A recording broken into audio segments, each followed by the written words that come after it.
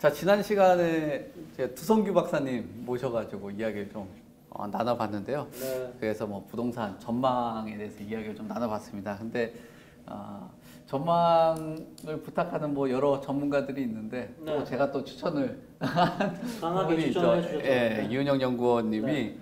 이 목소리는 굉장히 부드러운데 음, 아우 그 대답에 굉장히 날이 있어요. 굉장히 아. 날카로운 답변이 있으셔가지고 네. 그런 것들이 시청하시는 분들이 사실은 좀 추상적인 것보다 명확한 걸 되게 좋아하시잖아요. 그래서 그렇죠. 제가 한번 추천을 할 겸 어렵게 한번 모셨습니다.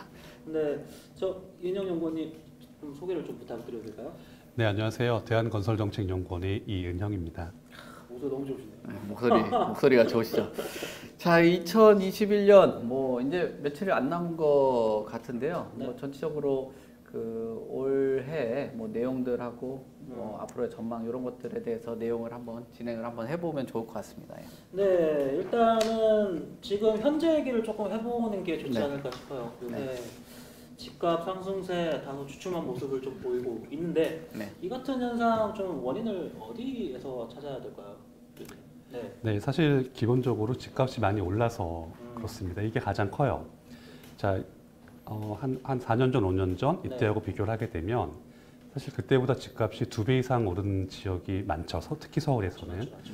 자, 이렇게 되면 과거에는 뭐 집을 팔거나 살때 어, 취득세 같은 것이 뭐 몇백만 원 수준이었다고 하면 네, 네. 똑같은 집인데 지금에 와서는 이게 영 하나가 더 붙는 경우가 종종 발생을 합니다. 음, 네, 네. 자 그리고 이제 작년부터 코로나 시국이 좀 더 지속된 이후에 음, 전반적으로 고- 아, 건설공사 관련된 금액들이 많이 올랐습니다. 그게 일반인들한테는 네. 어, 이사 갈때 네. 이사 가는 집에 인테리어 새로 하는 거, 요 비용으로 직결이 되죠. 뭐 공인중개사 수수료를 마찬가지입니다. 그래서 이런 거 다 합치게 되면은 사실 이사 갈 때 집값이 오른 것에 더해서 기타 소유 비용이 너무 많이 증가했어요. 그렇죠. 자, 이런 것 때문에 기본적으로 매매량은 아마 다른 요인이 아니어도 감소를 했을 겁니다. 음. 그런데 자 이렇게 매매량이 감소한 상황에서 최근에는 대출 규제까지 네. 가해졌습니다. 그리고 지금 겨울이 또 비수기이기도 하죠. 그렇죠. 음. 그리고 원래 같은 아파트라고 하더라도 뭐 비선호층, 비선호동 세입자가 있느냐 없느냐, 입주 언제 할 수 있느냐, 뭐 극매냐 아니냐 이런 거에 따라서 원래 가격 차이가 발생을 합니다. 네. 그래서 이런 부분까지 감안한다면은 음, 사실 지금 일각에서 얘기되고 있는 주택 가격이 안정되었다라는 네. 얘기는 사실 뭐 자연스럽게 시장에서 발생했다기보다는 좀 어, 인위적인 요인, 즉 주택 매수를 좀 억누르는 그런 요인들이 자, 작용한 것으로 볼 수가 있습니다. 당분간 이런 상황은 지속될 것 같고요. 네네. 아마 아, 왜냐면, 왜냐면 다음 달부터는 바로 DSR 차주 규제가 시행이 되니까 그렇죠. 그것도 일종의 대출 규제가 되는 거죠. 네.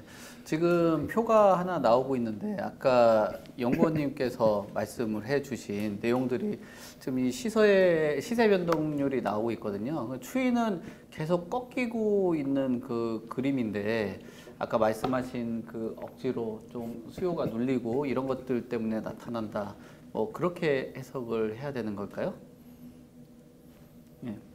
네, 지금으로서는 그렇게 볼 여- 여지가 적지 않습니다.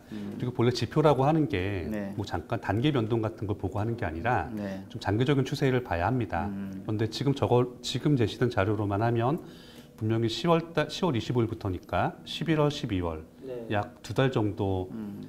상승률이 네. 감소를 좀 했죠. 네. 네. 근데 저 근데 저런 추세를 가지고서 만약에 저 추세가 시장에서 자연스럽게 발생을 한 것이라면은 음. 분명히 시장이 안정된다는 얘기입니다. 네. 그런데 공교롭게도 최근 2개월간에는 저희가 다른 요인들을 좀 생각할 수가 있죠. 네. 이런 부분, 네, 이런 부분 때문에 저렇게 가격이 일시적으로 억눌린 경우에는 네.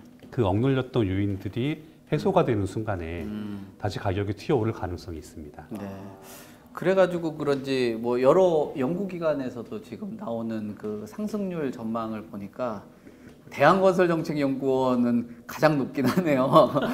압도적으로 네. 전망을 딱 보시고 뭐 네. 주택산업연구원이라든지 한국건설산업연구원에서도 가격 상승 전망을 어 상승으로 딱 잡기는 하셨어요. 뭐 이런 아까 말씀하시는 그 부분들에서 어, 답을 찾아볼 수 있지 않을까 생각을 하는데 그이 연구원님께서 소속되어 있는 그 어, 내용들 어떤 것들이 기본적으로 바탕을 두고 전망을 하고 계신지 그 부분 좀 굉장히 궁금하거든요. 네, 사실 사실 올해에 저희 회사에서 나왔던 전망은 제가 만든 게 아닙니다. 네, 아, 네, 다른 분이. 네, 다른 분이 만드셨고요. 네. 이거 사실 사실 제가 제가 이제 이제 외부 설문에 답해드렸던 수치는 네. 사실 그것보다 좀 더 높습니다. 아, 그래요? 아, 그래요? 네, 아직이 아니라. 아, 그게 네, 더 네. 충격적이긴 하네요. 네, 왜냐하면 지금 상황이 이제 사실 그냥 일반적인 시각으로 보더라도 자 집값이 오른다 내린다가 있으면은 왜 오르는지 왜 내리는지 이런 이유가 있어야 되죠. 네. 근데 지금 상황에서는 집값이 오를 거다라고 하면 갖다 붙일 얘기들이 참 많아요. 네. 음, 맞아요. 근데 집값이 내린다라고 하면 이 별로 없어요. 왜 내려야 되는지. 왜냐하면 작년부터 뭐 지목된 것들, 뭐 전 세계적인 유동성 증가, 네. 뭐 주택 공급 어- 뭐 부족 이런 것들이 현재도 진행형이고 아마 내년도 진행될 가, 아, 내년도 유지될 가능성이 높은데 네. 이런 집값 상승 요인들이 그대로 남아 있는 상황에서 집값이 안정될 것이다 또는 하락할 것이다라고 예상을 하기에는 쉽지 않습니다. 음, 그 쉽지 않지만 그래도 약간 연구원님한테 기대하는 바들이 좀 있으실 것 같은데. 네, 저도 집값이 내리게 되면 좋을 것 같습니다. 네, 네, 왜냐, 네, 왜냐하면 이게 네. 기본적으로 네. 어, 집이라고 하는 거는 어, 의식주죠 일반인들에게는. 그래서 자기 집이 있다는 거는 매우 좋은 겁니다. 왜냐하면 뭐 이사 갈 필요도 없고 내가 내 집에서 내 마음대로 할 수 있고 가족이 생기면 우리 가족들도 거기서 직장을 다니고 네. 학교를 다니고 이런 정주 환경이 되는 겁니다. 그렇죠. 네. 그런데 이런 정주 환경을 얻는데 본인이 가진 자금 여력보다 너무 큰 비용이 들어간다면 인생이 힘들죠. 네. 그래서 네. 그래서 기본적으로 주택 가격은 오르지 않았으면 좋겠습니다. 음, 음, 그런데 뭐뭐요 근래는 저한테 문의 주시는 내용들이 결국은 올라요 내려요가 되기 그렇죠. 때문에 네, 솔직하게 말씀드릴 수밖에 없습니다. 네. 제가 연구님 사석에서도 네. 뵙고 그러면은 네.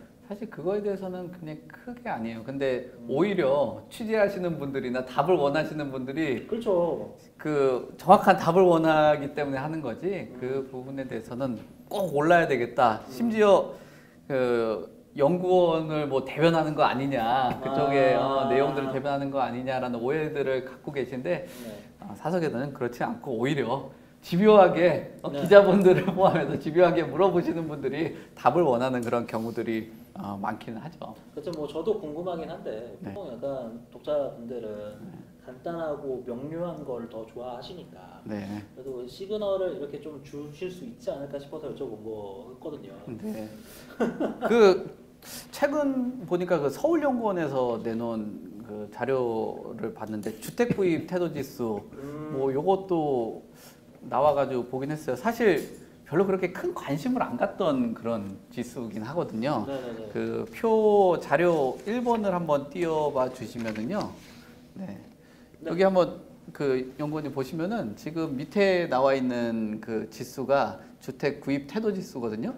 그래서 우리가 기사를 볼 때는 뭐 100을 기준으로 해가지고 맨날 뭐 네, 그렇죠. 100을 넘는다, 뭐 90몇이다, 뭐 요 정도 보다가 갑자기 50몇을 보니까 음. 기분이 조금 묘하긴 하더라고요. 더 낮아 보이는 이런 것도 있고. 어, 그 착시적으로 낮아 보이는 게 있어서 네. 예, 참고를 하실 거는 2020년 4, 4분기도 55.8 정도가 된다. 그러니까 음. 이게 100에서 56으로 떨어진 건 아니고 네네네. 그뭐 추세가 그렇게 크게 변동이 아닌 것 같은데 사람들이 뭐 180 막 어? 음, 네. 90, 80 뭐 이런 거 보다가 오시면서 보니까 그런 것 같더라고요. 근데 이게 어쨌든 그 구입 태도 지수라는 거 보면은 어, 집을 사는 거에 대해서 고민을 하시는 분들이 어, 예전에는 조금 적극적이었다라고 하면 조금 덜한 것 같은데 이런 부분들은 아까 설명을 해주신 그 내용들 이게 진짜 집을 집이 무, 그 가격이 무서워서 아니면 너무 올라서 부담스러운 건지 아까 억제한 여러 가지 금융 정책이라든지 이런 것들이 강한 건지 어떻게 보세요? 요 그 지수도 기존 앞에 말씀하신 해석하고 좀 비슷한 내용이실까요? 아, 사실 이런 지수를 보게 되면 네. 이거 그러니까 작년하고 올해까지만 나온 거지 않습니까? 네. 그러니까 사실 딱 작년 하반기부터 네. 지금까지 나온 거죠. 이 정도만 가지고는 사실 차이가 없는 겁니다. 그렇죠. 이거. 아. 그러니까 이게 사실 조사하다 보면은 뭐 그때 그때 응답률에 따라서 약간씩 변동을 해요. 그래서 저 이거 사실 이거 그 기사 보고 좀 뜬금없었어요. 이거 평소에 주택 네. 가격 지수하고 좀 다르게 서울 연구고 이거 그렇죠. 갑자기 왜 이게 그러니까 평소에 보던 지수가 아니니까 어. 이게 갑자기 왜 나올까라는 생각을 하긴 했거든요. 저도. 내구재 구입 태도 지수 뭐 이런 것들 그죠? 그러니까 어떻게 만들어내려고 하다 보니까 네, 그래서. 네, 그래서 이런 그- 그래서 이런 종류의 지수는 네. 그냥 그냥 여러 가지 있는 참고 자료의 하나로 보는 거지. 음, 뭐 이것의 변동 폭이 뭐 플러스 마이너스 얼마가 됐으니까 뭐 음, 크다 이렇게 보기는 좀 어려운 겁니다. 음. 즉 이거대로만 하면은 어, 작년이나 지금이나 주택을 구입하겠다는 의향은 거의 비슷하게 나오는 거예요. 거의 플랫하게 움직이는 네. 것 같은데요. 별 차이가 없어요. 네. 그래가지고 아까 말씀하시는 그것처럼 네. 굉장히 급등했던 시기 때도 뭐 별로 오른 것 같지도 않고 네, 지금 맞아요. 조정이다 보다 얘기하는데도 별로 움직이는 것도 네. 아니고 그래서 제가 이거 그기 조금 자료라든지 표본 같은 것도 기본적으로 해서 아마 서울연구원 들어와서 제가 오기 전에 한번 봤거든요. 네. 근데 거기에 여러 표본 중에 무주택자인가 20대인가 요 부분들은 표본에서 많이 빠져 있긴 하더라고요. 그만큼 이런 거를 발표를 할때 네. 아, 젊은 세대들이나 이런 사람들의 그 동향이나 이 부분들을 좀 파악을 못한 게좀 음. 표본에서 좀 나타났다라고 좀 의심도 좀 어, 해보고 어, 그렇죠. 있습니다. 네. 네. 뭐 아까 집값 뭐 상승 하락 이런 얘기에 대해서 되게 조심스럽게 얘기를 해주셨는데 그럼에도 불구하고 약간 주목을 좀 해봐야 될 지역들은 있을 것 같아요, 형님. 좀 저희가 네. 좀 살펴봐야 될 주목해야 될 지역을 좀 몇 가지 얘기를 좀 해주시면 어떨까 싶은데요. 네, 사실 집값 상승이라고 하는 거는 네. 어, 우리가 일반적으로 아는 상식에서 다 똑같습니다. 거기서 음. 벗어나지 않습니다. 음. 자, 이제 우리가 평소에 살다가도 뭐 네. 누가 뭐 집을 갖고 있는데 올랐다더라 음. 라는 얘기가 들리면은 네. 대부분이 그쪽에 뭐가 생기는 겁니다. 음. 뭐 지하? 아, 네, 뭐 지하철이 발표됐다거나 네. 뭐 커다란 뭐 마트가 들어온다든가 네. 결국은 개발 호재의 작용을 크게 하는 거죠. 네. 자 그런 맥락에서 본다면 자, 작년 올해 정부가 발표한 것들이 있죠. 어디에 신도시를 만들겠다, 음, 어디에 뭐 광역교통망을 구축하겠다 이런 것들이 있습니다. 근데 이런 것들은 지금 진행 단계에 있는 거지 아직 착공한 것도 있고 안 한 것도 있고 그렇죠. 결국 완공은 안 한 거죠. 자 그렇다면 당연히 이런 부분들은 해당 지역에 가격을 올리는 결과로 돌아갈 수밖에 없습니다. 그래서 집값이 어디가 오를 것이냐 다들 관심 있는 건 그런 부분이지만 그렇죠. 네. 어, 일단 먼저 말씀을 드려야 되는 내용은 자 집은 네. 어, 투기의 대상이 아닙니다. 이제 거주하는 주택이죠. 네. 그래서 네. 그런 맥락에서 이제 가장 먼저 집을 봐야 되는 것은 이제 본인의 생활 반경이죠. 생활 반경, 생활 패턴, 우리 애가 학교를 가야 되느냐 안 가야 되느냐 네. 이런 부분을 맞추는 게 가장 이상적인 거고요. 네. 그리고 이제 그리고 당연히 집을 선택을 하실 때는 어떤 인근 여, 인근 여건, 인프라가 좋은 곳이 좋겠죠. 음, 네. 하지만 이미 그런 것이 갖추어진 지역은 가격이 좀 더 비싸기 때문에 음. 앞으로 그런 것이 생길 것이다. 음, 라는 것은 당연히 완공 때보다는 가격이 저렴할 거니까 네. 그런 부분을 살펴보시는 게 음, 가장 좋습니다. 네. 그리고 이건 이제 인프라 얘기였고요. 그리고 이제 정비 사업 같은 것들이 사실 서울에서만 보게 되더라도 재개발 지역에서 정비 사업이 진행이 돼서 뭐 대단지가 들어서게 되면 네. 사실 그 인근이 싹 바뀝니다. 그렇죠, 그렇죠. 그러니까 뭐 대표적으로 아파트 길 건너편에 있던 옛날 뭐 2층, 3층짜리 건물들 네. 이런 건물들이 다 1층의 상가로 바뀌고 네. 말끔하게 리모델링을 합니다. 맞아요, 맞아요. 그리고 이- 이런 상가가 많아지면 동네가 밤에 환해지죠. 아, 그럼 좀 더 안전한 지역이 되고 어쨌든 좋아집니다. 네. 자 이런 가격 그러니까 이렇게 가격 변동이 발생을 하기 때문에 네. 이제 지금 정부가 추진하고 있는 뭐 3기 신도시든 아니면 서울 도심의 뭐 고밀 개발이든 이런 모든 것들이 다 가격 상승으로 연결되어 있는 상황이기 때문에 네. 기본적으로 여건이 되신다면 일단 서울에 집을 보시는 것이 음, 가장 좋다고 저는 판단을 합니다.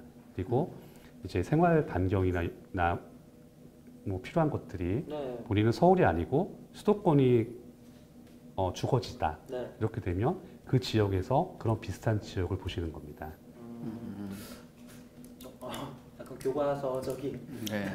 근데 지금 그 주택 가격이 조정받고 있다라는 뭐 여러 지역들이 있잖아요. 뭐 언급을 하면은 세종이라든지 대구 같은 경우는 조정을 받는다라고 하는데 그곳 같은 경우는 역시나 공급 그 공급 물량 때문에 좀 하방 압력을 받는다. 뭐 이렇게 봐야 될까요? 네, 사실 그런 부분이 가장 큽니다. 음. 그러니까 어느 지역이든 네. 어, 사람들이 생활 반, 아니, 그러니까 각 개인마다 생활 반경은 정해져 있죠. 네. 네. 그래서 뭐 예를 들면은 부산 집이 아무리 싸다고 해서 뭐 대구나 서울 사람들한테 이게 끌리지는 않는 겁니다. 그렇죠. 그렇죠. 이제 네. 이제 본인이 사는 반경은 따로 있으니까요. 네. 그래서 이제 어떤 지역에 주택이 공급되든지 간에 그 지역에서 해당 공급 아, 해당 공급 주택을 네. 받아들일 수 있는 수요는 또 한정돼 있습니다. 음. 그런데 그걸 조금 넘어서서 신축 아파트가 막 분양이 된다. 네. 이런 지역들은 가격 상승이 크게 발생하지 않습니다. 음, 내려갈 가능성도 있는 거고요. 음, 자, 이런 부분 때문에 작년, 올해 다들 정부 정책 자체가 네. 공급 폭탄으로 전환하겠다.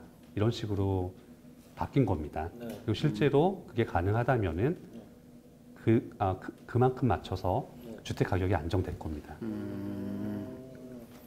그러니까. 뭐 대구도 그렇고 세종도 그렇고 네. 공급량이 많긴 했었죠. 네, 지금 뭐 공급 물량이라든지 이런 네. 것들을 보고 해도 어, 조금 변화가 좀 있을 것 같다라는 어, 생각을 하게 되네요. 네, 그러면은 이렇게 뭐 집값 이 그러니까 계속 뭐 아직까지도 뭐 좀 둔해지긴 했지만 집값이 일단은 계속 오르고 있는 시점이긴 하잖아요 아직까지는. 근데 이렇게 되면 안정화되는 거는 언젠가를 좀 궁금해 많이 하시거든요. 네. 집값 도대체 언제 안정화되는 거야? 나는 집을 언제 사야 되는 거야? 라고 궁금을 좀 많이 하시는데 이 시점은 좀 어떻게 생각을 하고 계세요? 네, 사실 일각에서는 뭐 2023년 말씀하시는 분도 있고 뭐 4년, 5년 말씀하시는 분도 음, 계시긴 합니다. 다 근거들이 달라요 다. 네. 네, 그런데 그런데 제 예상으로는 네. 사실 안정 아, 그러니까 안정이라는 얘기를 좀더 네, 네. 명확히 하고 해야겠죠. 네, 네. 그러니까 집값이 뭐 조금씩 오르는 정도, 네. 그러니까 뭐 물가 상승률이나 뭐 고원저리로 오르는 정도를 안정이라고 하겠습니다. 네. 그렇게 그렇게 잡는다면 어, 다른 분들 예측하시는 그 정도 기간으로는 쉽지 않다고 생각을 합니다. 음, 왜냐하면 왜냐하면 건- 그러니까 주택은 기본적으로 건설 생산품이기 때문에 네. 뭐 계획을 어떻게 하든지 간에 완공까지는 시간이 걸립니다. 그렇죠. 그런데 지금 정부가 뭐 발표하고 진행하는 것들 어, 주택 공급 계획에 적지 않은 부분이 삼기 신도시인데 이건 또 사전 청약으로 상당 부분 구성되어 있죠. 네. 그렇다면 이게 뭐 지금 발표된 예상 입주 시점보다 늦어질 가능성이 상당히 높습니다. 음, 그리고 이제 삼기 신도시는 말 그대로 신도시니까 네. 경기도에 있죠. 자 그렇다면 사람들 주, 아, 사람들의 주택 수요가 가장 몰려 있는 서울은 어떨 것이냐 음, 이렇게 되면 네. 사실 서울은 그렇게 뾰족한 방법이 지금 나와 있지 않습니다. 음. 정비 사업을 활성화하겠다, 뭐 민간 공공 모를 통해서 네. 주택을 공급하겠다라고만 나와 있는 거지. 네. 뭐 그만한 물량이 언제까지 어떻게 어떻게 될 거라가 음, 될 것이다라가 네. 사실 쉽지 않습니다. 음, 왜냐하면 공공재개발만 보더라도 그 뭐 가시는 그 지역입니다. 네네네네. 뭐 올해에 그렇게 음, 열심히 1차 시범 사례로 밀었던 지역도 네. 해당 지역에서 반대하는 주민들이 취소 청구를 했습니다. 음, 자 이런 식으로 변수가 발생하기 때문에 어, 계획된 입주 시점보다 늦어질 가능성이 상당히 많습니다. 저기 물량들은 뭐 나와 있는 그 앞에 물량이 아니라 그 앞에 있는 계획 물량인 거잖아요. 계획 물량은 저렇게 잡혀 있겠지만 음, 연구원님이 보시기에는 현실성이 조금 떨어진다. 네. 예, 그리고 분명히 여러 가지 그 난관들이 아마 이 부동산 시장을 또 오래 경험을 하셨으니까 이게 어, 계획했던 물량들이 나온다라는 기대를 좀 적게 하시는 것 같기는 해요. 네, 그래서 그리고 아까 서울에서 음. 정비 사업 물량이 10년 동안 눌려 있는 아, 밀려 있는 게 있기 때문에 네. 이제 이 부분을 만약에 한 번에 풀어준다면 뭐 문제가 많이 발생하겠죠. 그렇죠. 전세 수요도 급증을 아. 할 거고 주택 가격은 많이 오를 겁니다. 네. 그렇다고 이것을 네. 좀더 시간을 두고 부작용을 최소화하겠다라고 한다면 네. 주택 공급 물량이 단기에 크게 늘어날 수는 없는 거죠. 음, 그렇게 보- 그래서 이런 부분 때문에 가격은 좀 더 좀 더 오래 네네. 오를 것으로 보는 것이 맞습니다. 음. 음. 그러니까 2023년이다 이런 예측보다도 네. 그더 길어질 수 있다라고 말씀을 하시는 그게 나름 뭐 합리적인 뭐 생각이라고 볼 수 있을 것 같아요. 왜냐하면 그게 네. 딱딱 떨어진다라는 게 네. 지금 우리도 계속 집요하게 물어보고는 있지만 무슨 점쟁이도 아니고 그 앞에 그 어떤 어그 네. 여러 가지 상황들이 발생하지 않는다라는 것을. 전혀 그런 변수를 생각 안 한 상태에서 몇 년이다 몇 년이다 예측하는 거는 그 시나리오가 맞기는 굉장히 어, 어렵다라는 그런 생각들을 어, 할 수밖에 없는 거죠. 예. 집값이 지금까지 올랐던 게 거의 뭐 8년, 7년 뭐 이 정도 되잖아요. 음. 약간 상승세를 쭉 유지를 했던 게. 근데 그게 안정화되는 게 뭐 불과 2, 3년이 된다는 건좀 말이 안 되는 것 같긴 해요. 그렇죠. 그 기간 동안 올라온 그 수치를 안정화시키는 게 어려울 것 같고 그리고 내용을 뭐 저 같은 경우는 민간 시장에서 좀 움직이는 사람 입장으로서 네. 말씀을 드리면 오늘 많이 갈라지시는데. 네 아니 마- 말씀을 드리면은 네. 연구원님이 아까 그 설명하시는 게 현실에서 일반적인 사람들이 그렇게 통용을 해요. 뭐 여기 음, 백화점이 생긴다, 뭐 한다. 네. 내가 몇몇 그 연구 기관에 계신 분들이나 음. 뭐 교수님들도 만나면 분석은 다 그럴싸하긴 한데 막상 음. 카메라가 꺼지고 뭐 식사 자리에 나면 야 네. 거기에 어 그 백화점 들어오는데 온라인이 뭐냐 그게 현실적인 그렇죠. 분석 그리고 어 일반적인 사람들의 시각이 맞기 때문에 뭐 굉장히 뭐 수치나 금리나 이런 것들은 좀 세련되고 나름의 근거이긴 하지만 네. 소위 말하는 그 주택 가격을 움직이는 것은 생각보다 단순한 아, 그런 심리에서 움직인다라고 하는 것도 일정하게 좀 인정을 해야 될 것 같아요. 그래서 영국 같은 경우도 네. 최근에 어떤 뭐 주택 가격들을 보는 게 과거에는 개량을 해가지고 음. 가격을 뭐 좀 수치화했다라는 게 유행이라면 네. 최근은 굉장히 질적으로 어떤 사람들을 주택을 바라보는 시각을 연구하는 이런 게 더 가치 있는 연구라고도 많이 하더라고요. 옛날처럼 네. 막 숫자로만 데이터로 그런 연구가 조금 세련미가 좀 떨어지고 있는 그런 어, 그렇죠. 현상이라고 네. 볼수 있잖아요. 뭐 이런 연구에 대한 얘기를 하면 조금 더 어려워질 수도 있으니까 네. 조금 더 쉽게 가보도록 할게요. 네. 저희가 막 저 항상 저번에 두성기 박사님도 얘기를 많이 하셨던 게 정책을 잘못 썼기 때문에 음. 지금의 사태가 초래가 됐다. 음. 근데 이제야 좀철 드는 것 같다. 뭐 이런 식으로 얘기를 좀 하셨는데 네. 이 부동산 시장 안정이 되려면은 이 정부 정책에서 좀 어떤 것들이 선행돼야 될지 궁금해하시는 분들도 많거든요. 좀 연구원님의 의견은 좀 어떠신가요? 네, 사실 최근 몇 년간 실행됐던 정책 방향은 간단합니다. 이제 규제였죠. 그렇죠. 네, 그리고 규제도 내용이 복잡하지가 않았습니다. 어, 일단 그 당시의 전제는 지금의 부동 아, 부동산 시장이 네. 투기 세력 등에 의해서 왜곡된 상태다. 다주택자는 투기 세력이다. 어, 그렇죠. 그래서 이걸 해소하기 위해서는 강력한 규제가 필요하다. 음, 그래서 구체적인 규제 방법들도 네. 간단했습니다. 일단 다주택자들이 대출을 이용하니까 대출을 좀 억제하고 네. 집을 많이 가질 때 페널티를 주는 거죠. 취득세를 음. 더 중과한다든가 그리고 이분들이 집을 가지고 있는 것도 어렵게 합니다. 음. 보유, 보유세를 더 하죠. 음. 그리고 이분들이 갖고 계시기 힘들어서 네. 집을 팔 때는 이제 그 시세 차익의 상당 부분을 공공이 환수하겠다. 음. 뭐 어떻게 하라는 얘기인 거예요? 사지도 갖고 갖고 있지도 말고 팔지도 말라 이 얘기는.